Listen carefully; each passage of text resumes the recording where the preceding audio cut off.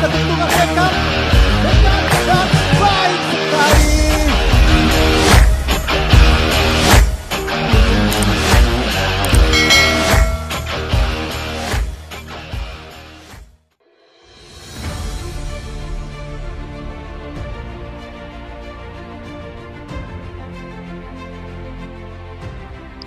Borneo FC bakal menghadapi Persija Jakarta di matchday kedua Grup B Piala Menpora 2021.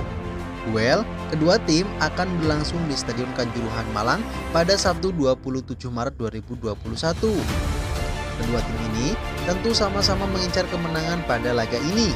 Sebab Borneo FC dan Persija mengawali Piala Menpora dengan kekalahan.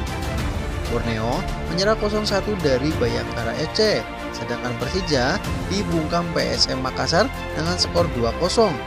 Jadi, bisa dikatakan laga ini sebagai duel antar tim terluka.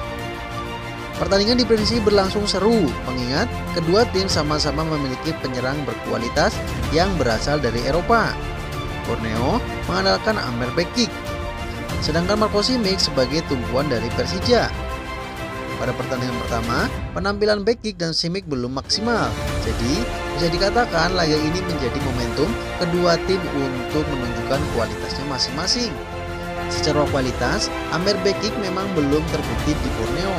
Pada pertandingan pertama, perannya sebagai ujung tombak belum maksimal. Sementara itu, Marco Simic sudah berpengalaman karena bermain di Indonesia sejak tahun 2018. Simic dikenal sebagai penyerang dengan naluri mencetak gol yang tinggi.